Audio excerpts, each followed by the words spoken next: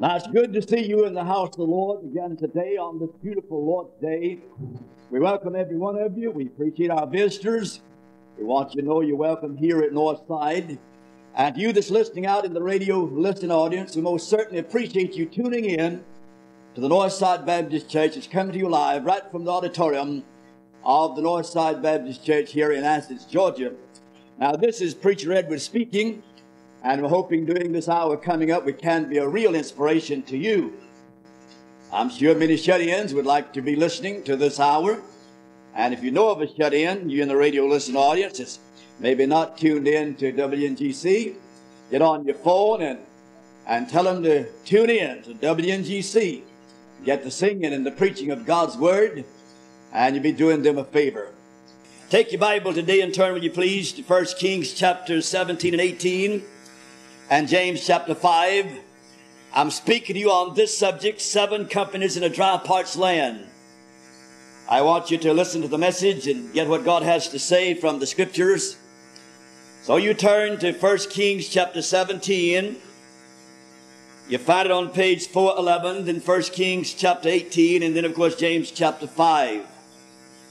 I was speaking to the dear gentleman last Sunday that when he met me, he said I didn't look like a sound or something to that effect. You know, when you hear someone on the radio and you hear them many, many times, you size them up in your mind as to what they look like. I've met a lot of people since I've been on the radio now in my 36 year daily. And when I tell them who I am, they look kind of surprised. And so I heard this past week what I look like, or who I look like, and who I preach somewhat like. I heard in the last uh, couple of weeks that I've preach somewhat like Jimmy Swaggart and I look like Johnny Cash. So I don't uh, agree with either one, but uh, that's a matter of people's opinion, I guess. So you turn in the scriptures now to these places. While you're turning there, I would like to say I have some information in print here. You know, last couple of weeks you've heard a lot about abortion. You've heard a lot about uh, fetus, uh, whether it's a real human being or whatnot. I have some printed matter here on two sides, both sides of this uh, sheet of paper I have, that's very, very interesting along this line. And uh, if you'd like to have it, if you write in and just say, Preacher, ever send me the printed matter about abortion or uh, whether or not a fetus is a human being or what that you mentioned on Sunday on the broadcast, I'll send it to you at free of charge. By the way, stamps went up this morning at 12 o'clock. 22 cents now for a stamp. And uh, that means our radio expense, you know, goes up two pennies to a letter. But anyway, we appreciate you that write in and request these things. We're glad to send them to you free of charge. But if you'd kindly remember that it cost us, maybe drop a stamp in the envelope or something, we'd appreciate it. This is a faith ministry. We're doing what we can to get out the gospel, depending on God's people to work with us in getting out the gospel during these days. So I hope you'll pray for us. I'm reminded, I believe last week I read about this gentleman. His wife is forever shifting the furniture around in the home. A lot of women like that. My wife's pretty bad to do that. I never question her on that matter. She wants to put the dining room in the, in the bedroom, be all right with me. If she wants to put the bedroom in the den, that'll be all right with me too. I just so she lets me know when it's time to eat, time to go to bed. So I don't uh, have any quarrel with her about that. But this lady was bad to move her furniture around. And then one night about midnight, somebody knocked on the front door. The husband, about half asleep, jumped up and uh, ran his head into the side of a wall. And he hollered back at his wife, said, Wife, said, where in the high heaven did you put the front door? Well, 1 Kings chapter 17, beginning with verse 1. And Elijah the Tishbite, who was in inhabitant of Gilead, said unto Ahab, As the Lord God of Israel liveth, before whom I stand, there shall not be dew nor rain these years, but according to my word. And the word of the Lord came unto him, saying, Get thee hence and turn thee eastward and hide thyself by the brook Cherith, that is beyond Jordan. It shall be that thou shalt drink of the brook, I have commanded the ravens to feed thee there. Now turn over to chapter 18, verse 1, 1 Kings. And it came to pass after many days that the word of the Lord came to Elijah in the third year, saying, Go show thyself unto Ahab, and I will send rain upon the earth. And Elijah went to show himself unto Ahab. There was a sore famine in Samaria. Now I want you to turn to the book of James, away over in the New Testament, page 1310, in the original Scofield Reference Bible. Page 1310. I began reading with verse uh, uh, 13. Is any man among you, let him be, is, is any among you afflicted, let him pray. Is any merry, let him sing songs. Is any sick among you, let him call up the elders of the church, let them pray over him, and anointing him with all in the name of the Lord. And the prayer of faith shall save the sick, and the Lord shall raise him up. If he have committed sin, they shall be forgiven him. Confess your faults one to another, pray one for another, that you may be healed. The effectual fervent prayer of a righteous man availeth much. Now notice verse 17. Elias, that is Elijah, was a man subject to like passion as we are, and he prayed earnestly that it might not rain. It rained not on the earth by the space of three years and six months. And he prayed again, and the heavens gave rain, and the earth brought forth her fruit. Now I want to speak to you about this prophet, this great man of God, Elijah. And here, as we uh, read about him, we find seven outstanding companies here in this part of the land where he dwelt. Now Elijah the Tishbite came out of the mountain. Early rain and the latter rain, and they could gather their fruits and have plenty to eat, everything would run along smoothly. But if they failed obey God, God said, I will send uh, a drought upon you, and I will chastise you in that respect. Now that's exactly what happened. They failed to honor God. They did not abide by the rules, the regulations that God gave in the Word. And God sent a three and a half year drought upon the land. Now, can you imagine what the land would look like after having not rain fall upon it in three and a half years, not even dew to come up from the ground? And it was very, very dry. And in this condition, the man of God, the prophet of God, ministered. He had to minister to the White House. He had to go and talk to old King Ahab. Now, the name Ahab means uncle. That's strange, isn't it? Uncle Ahab. How does that sound? If it had been in our day, it'd probably been Uncle Sam, but this was Uncle Ahab that he had to deal with. And the prophets of Baal, no lady Jezebel, one of the most wicked women that ever walked on the face of the earth. Old King Ahab, her husband, poor henpecked feller, one of the most wicked kings that ever lived in Israel. And God had sent the droughts upon the land because of their disobedience. And so as this man of God ministers, I want us to notice seven different companies. Now, it'd take me two hours to really preach this message. So I'm going to get as much in as I can in the next few minutes. And I want you to follow me. Number one, we see company number one, the Ahabites, the self-seekers. The Bible says in 1 Kings chapter 18 verse 42, Ahab went up to eat and to drink. Now this man Ahab had food in his home. He had water to drink and all his people starving. They could not get water. They did not have crops. And he was far more concerned about himself, about his cattle and his, his horses and so forth, than he was about his people. He was a lover of self. The Bible said in the end time, for men shall be lovers of their own selves. It also said, whose end is destruction, whose God is their belly. And so we're living in days when people now are more concerned about themselves than they are about God or their neighbor or anyone else. And we find that company. Then we find company number two. That is the mourners over the drought. Now the land no doubt looked terrible. It hadn't rained in three and a half years. Very dry, not even any dew on the ground. And they began to mourn over the drought. They could see the great cracks in the ground. As they milled around, they saw the poor cattle starving to death. They saw the trees drying up. They saw the grass dying and turning brown. But they did nothing about it. God had told them what to do in the Old Testament. God had told them plainly in the book of Deuteronomy. He told them what to do about this, but they hadn't really done anything about it. They could have. They could have done something about it, but they'd been led astray by old lady Jezebel. She's the daughter of the priest of Baal. Her daddy was named Ethbaal, and her name was Jezebel. And they worshiped Baal, a false god, a sun god in those days. And they could have done something about it, but they did not. They mourned and they groaned about the land drying up, trees drying up, cattle dying, no water for the horses, everything going wrong, just walking around moaning and groaning. Now we have a lot of church members like that today, and we're all guilty. We moan and we groan about not seeing things happen, about not seeing uh, a soul saved, and people lifted and helped and strengthened spiritually. And we moan about it, and we groan about it, but many times we fail to do anything about it. Now the way we should get something done about that is what God required of them. That is, abide by the Word of God and spend much time in prayer. Old Uncle Bud Robinson, a preacher many years gone by, went from place to place preaching and he went to this church and it was dead spiritually.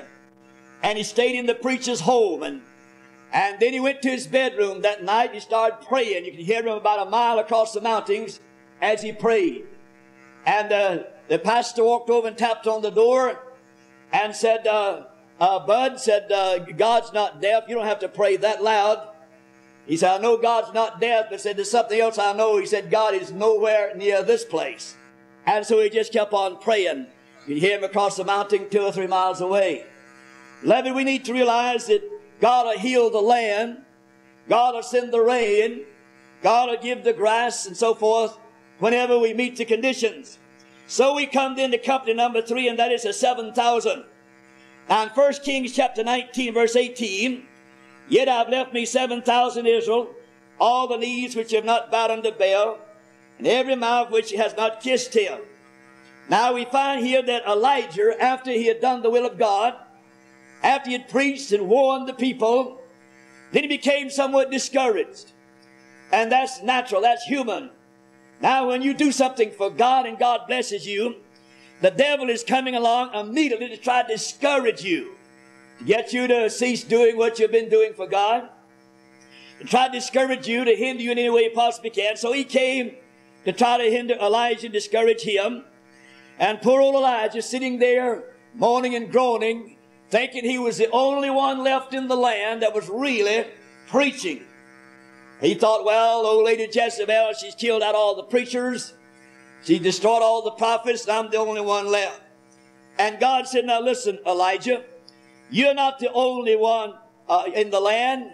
He said, I want you to know there's 7,000 that's not bowed their knee to Baal. God had other people there as well in the land that knew God, but they were not doing very much. They hadn't heard anything from them about them. And the same things apply to many of our churches today. We have saved people, born again believers. They sit in the house of God, but they don't do very much for God. You don't hear about them winning any souls. You don't hear about them really spending hours in prayer.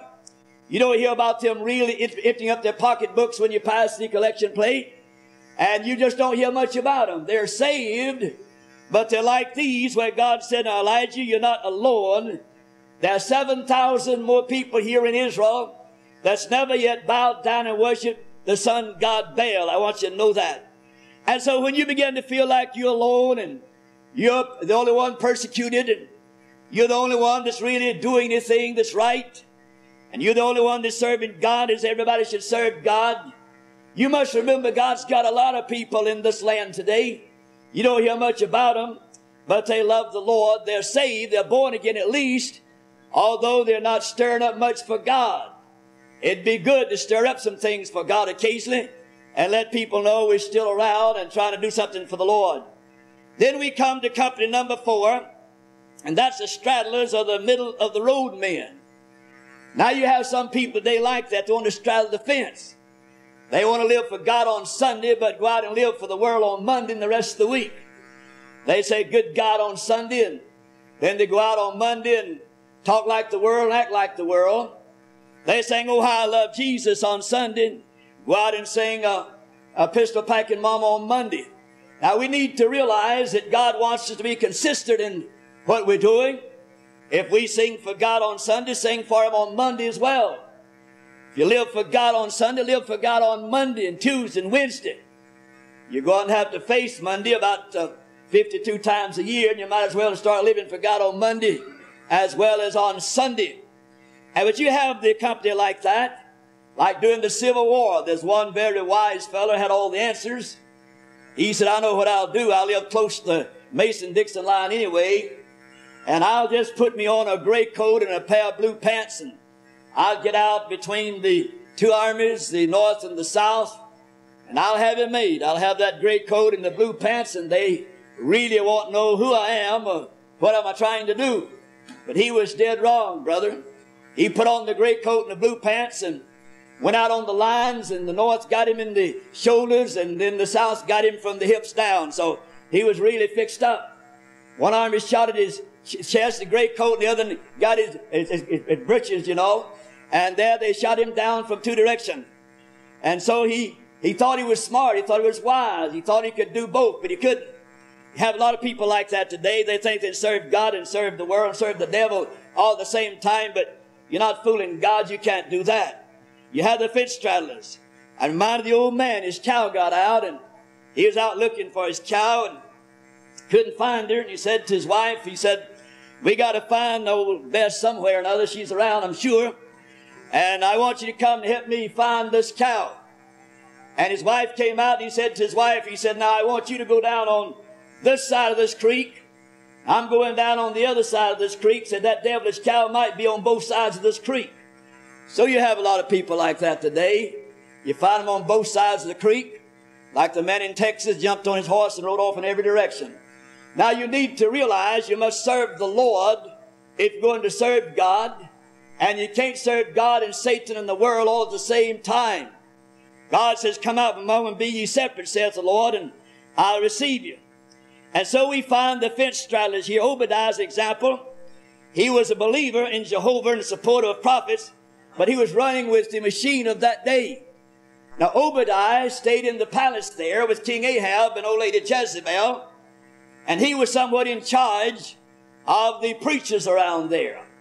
I, I just assume he might have been the, uh, uh, maybe he was the president of the uh, Southern Baptist Convention, or he might have been the uh, moderator of the association. But anyway, he was kind of in charge of the uh, preachers there in Ahab's uh, palace and kind of looked after them. And he wanted to stand in with King Ahab and old lady Jezebel.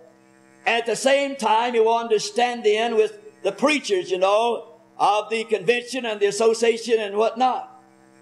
You got a lot of preachers like that today. They they want to run along with the convention crowd, and at the same time, they want to go along with the independents. But you can't do that and please God. You got to be on one side or the other. You can't straddle the fence. God knows where you are. Man said to me one time, he said, well, I think I can stay in and get more good done in than can out. I said, brother, the only thing wrong with that is just isn't true. It's not scriptural. God said, come out. Now, what are you going to say about that? So he didn't have anything to say. And so you can't use that argument, but I can do more in than can out when God plainly said, come out. That's like going down and saying, well, I'm going down to the liquor store and drink with the liquor crowd so I can win them to God. Well, see how many you win to God. God says, come out and be ye separate. Then we come to company number five, and that's the bread and water prophets.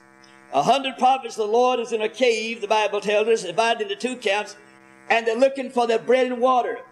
Obadiah furnished them with bread and water. He had 50 in this cave and 50 in that cave. He's trying to hide them from old lady Jezebel. Now, she really believed in chopping off heads.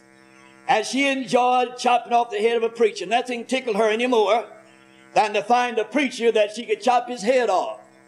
Well, chopping head off time turned around later on in her life. But she liked that. And Obadiah, all he did was go and feed those prophets.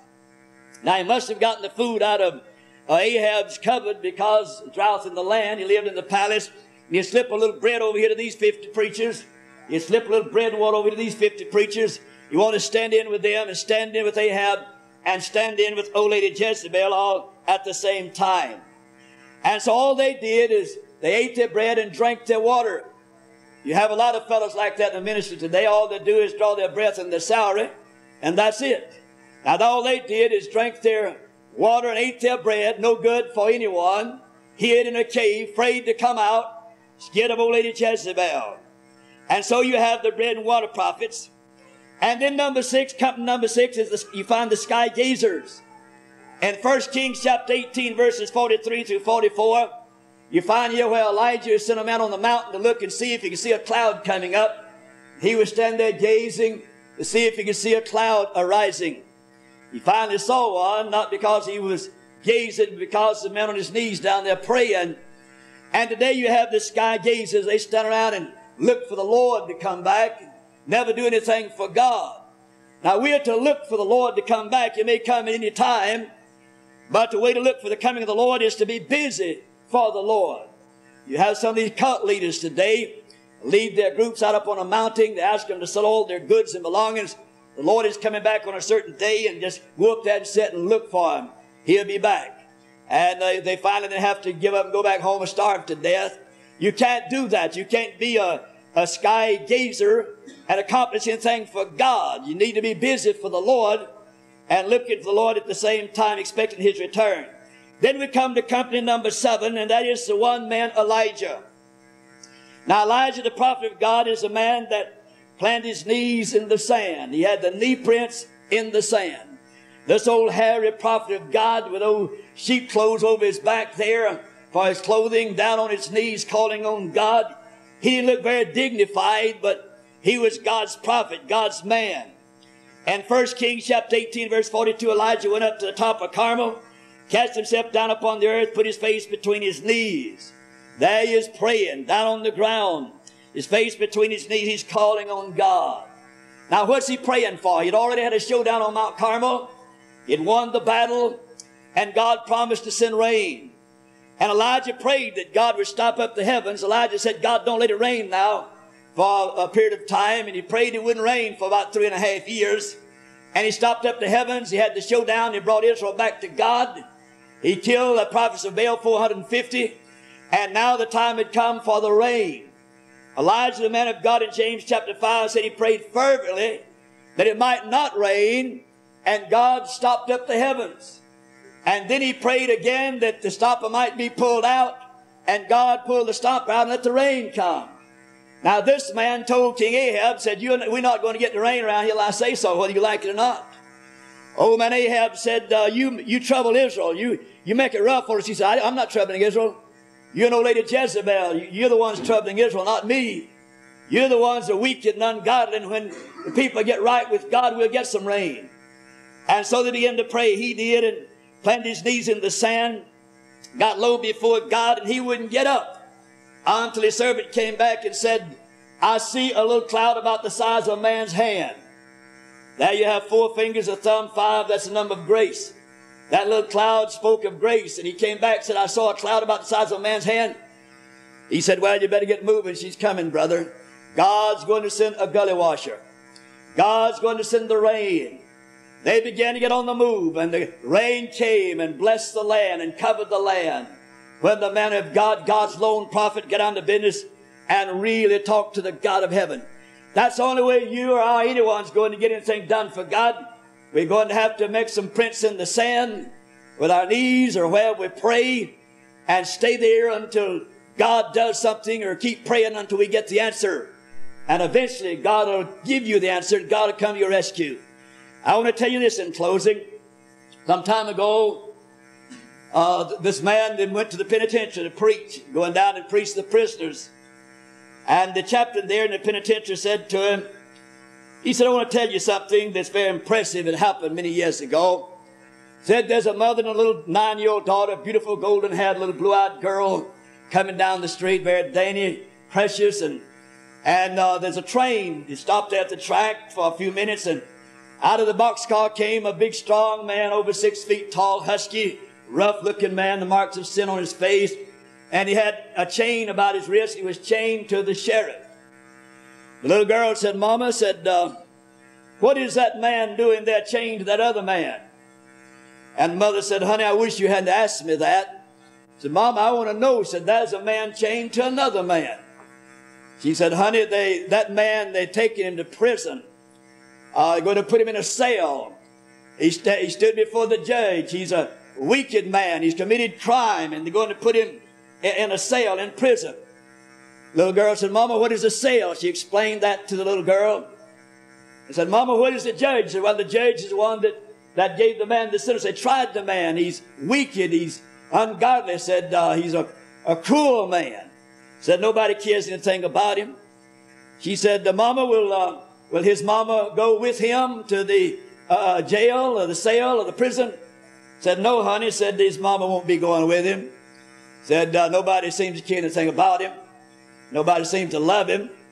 And then she said, well, mama will, uh, will his mother move somewhere near the prison so she can be close to him? Mama said, don't I wish you'd hush. No, his mother's not going to move anywhere near the prison. About that time, that little girl reached down and plucked a beautiful little rose. And she ran across the track and walked up to this big old husky man, handed it to him. He took the hand that he had free and took it. And she said to the man, said, Mister, said, uh, God loves you. And said, I-, I want you to know that I love you too. And she went back to her mother. This chaplain said uh, to the minister, said, would you like to go down this afternoon at five o'clock and speak to the, the, uh, endeavor, the Christian endeavor here in the penitentiary? He said, I'd be glad to. That, afternoon at five, uh, three o'clock, they went down to speak to the prisoners, about 500 assembled there.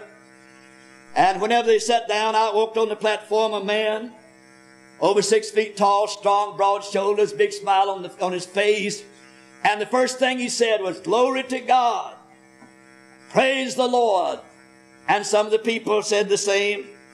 He said, Get your hymn book and let's sing Jesus, love of my soul. And they took the hymn book and sang Jesus, love of my soul, and sang to the tune of Threads Among the Gold. And you could just feel the power of God there as that big strong man led that singing. And then when they finished, he spoke to them from the Word of God. The chaplain said, uh, minister said, you know what happened? Said some time ago, I was walking down the corridor and I saw a big old man sitting there in the cell, had a Bible in his hand and tears running down his cheeks. Said, I unlocked the, the door of the cell and I walked in. I said, Can I help you, sir? And he said, Yes. And he said, Open his Bible and there lay that little rose that he'd put there in that Bible and tears running down his cheeks. He said, Sir, a little girl gave me this and she told me that God loved me and that she loved me said, I didn't think anybody loved me. I didn't even think God loved me, but said, she loved me and God loves me. He said, uh, sir, chaplain, sir, I, I, sure would like to know God. And he said that was the easiest man he ever won to Jesus. Man fell down on his knees, asked God for mercy, and God saved him. And he said, uh, chaplains and preacher, the chaplain said, preacher, sir, that man has won many souls here in this prison to God. He's one of the greatest Christians I've ever known and one of the greatest soul winners I've ever seen. And he's won more souls to Jesus Christ in this prison than all the chaplains we've ever had to come to this prison. That one little touch, that little red rose, and a little word of love from a nine-year-old girl. God loves you, mister, and I love you too. Shall we stand? Our Father, I pray that you'll take the message and use it we know you love sinners. God, you so loved the world, you gave your only begotten Son, that whosoever believes in him shall not perish but have everlasting life. God, we know this much can be accomplished to the glory of God if thy people would try to do it. Help us today. Help us to tell sinners that Jesus loves them and would like to save them. God, save somebody in the radio listen audience today and we thank you for what you do in Christ's name. Amen. While Debbie plays on the instrument, you're in this building unsaved, backslidden, want to come back to God, join the church, or move down here for any reason you may. Want you obey God, want you come. God is speaking to your heart. This message and the singings on cassette tape is tape number 166. Tape number 166.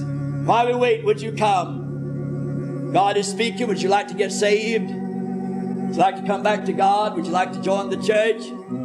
Has God spoken to you about anything in particular that you'd like to come down here and talk to Him about while we wait? Would you come?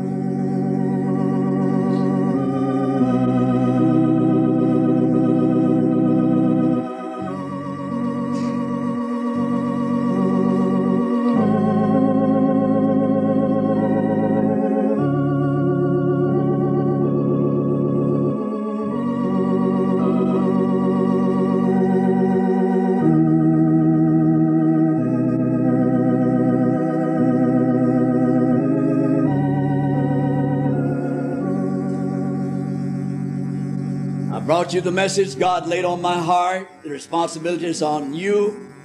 You have ample time to respond. Waiting just a few more seconds. Nobody responds this invitation. We're going home. How about it?